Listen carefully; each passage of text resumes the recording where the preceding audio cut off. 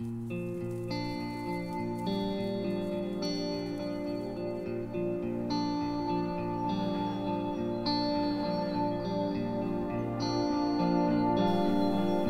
buenas, eh, me llamo Francisco Martínez Raya, eh, soy agricultor y soy uno de los miembros de la familia Martínez Raya que gestionamos la finca Cortijo Torre Guaja. Y como podéis observar, eh, está todo bastante seco. una de sus características es que estamos en un desierto estepario.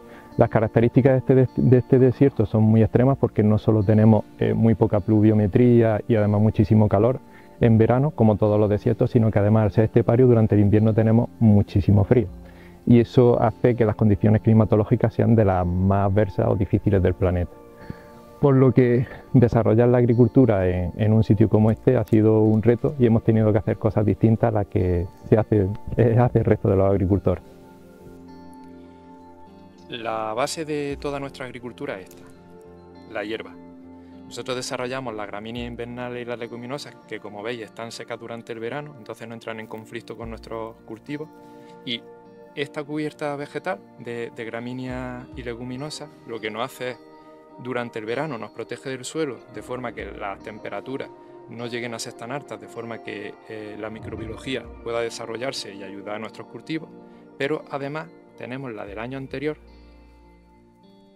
que como veis ya está prácticamente descompostada y lo que hace es nutrir a nuestros cultivos.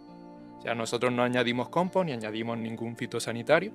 Lo que hacemos es eh, utilizar la hierba, que nos captura un montón de carbono, lo fija y toda esta hierba se descompone y nos aporta un montón de nutrientes.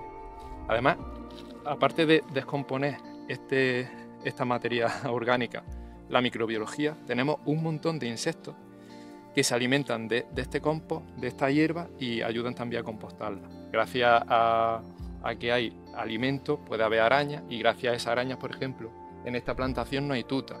En el olivar, por ejemplo, la, mosca del olivo, las larvas estarían en este suelo. Imaginaros si todo el suelo estuviera lleno de hierba y todo el suelo estuviera lleno de arañas, cualquier larva de, la mosca del olivo eh, se la comerían la araña, por ejemplo.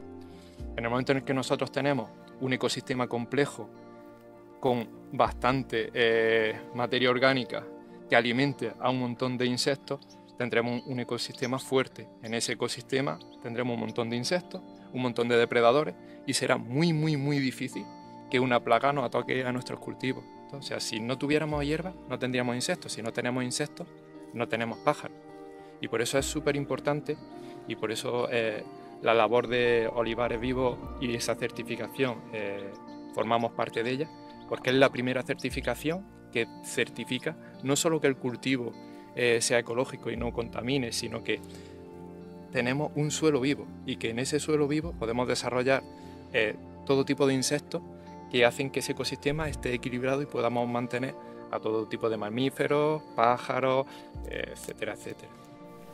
Bueno, pues el cambio climático lo que a nosotros más nos afecta como, agricultor es lo que es una temperatura un poquito más extrema y que las lluvias eh, se concentran en, momentos que no se, suele, no se solían concentrar. Entonces, básicamente hemos perdido la, primavera y el otoño.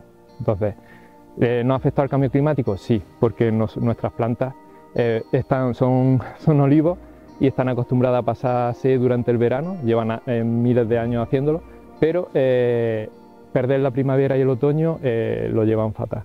Nosotros lo que, lo que hacemos es, tenemos unos aspersores de bajo caudal con los que mojamos el 30% del suelo y lo que hacemos es generar cinco tormentas al año.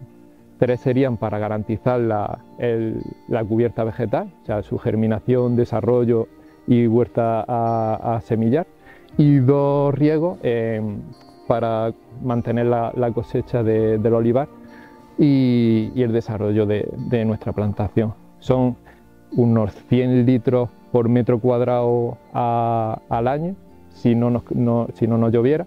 Pues, eh, los aspersores lo que nos generarían es como una lluvia de por 3, 3 litros hora por metro cuadrado.